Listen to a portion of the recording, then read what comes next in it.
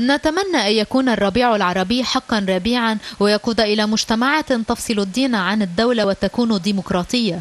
الموقف لرئيس الكنيسة المارونية البطريرك مار بشارة بطرس الراعي في خلال مؤتمر صحفي عقده في نيويورك كرر فيه تخوفه من الانتقال من أنظمة متشددة إلى أنظمة أكثر تشددا.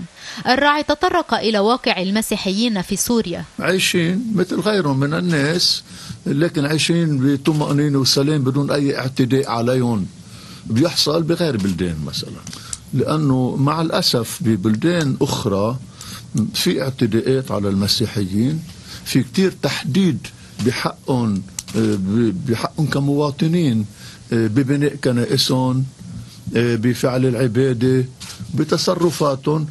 سوريا اليوم عايشين أفضل من غيرهم. المسيحيين لما بنحكي عنهم ما عم نحكي عن جماعة اوتسايدرز عم نحكي عن ناس موجودين بكل العالم العربي قبل الإسلام ب 600 سنة. هناك نزاع عربي إسرائيلي وآخر إسرائيلي فلسطيني قال الراعي مؤكدا أن لا سلام في المنطقة طالما الإسلام ومعه اليهودية لم يخطو خطوة المسيحية بفصل الدين عن الدولة. نحن عم نسعى في لبنان عم نسعى نخفف التشدد. بين ونبين إنه الإسلام والمسيحية كديانة وحتى اليهودية كديانة. ولا وحدة بتسمح أو بتطلب بالحرب أو بالعنف أو بتكفير الآخر.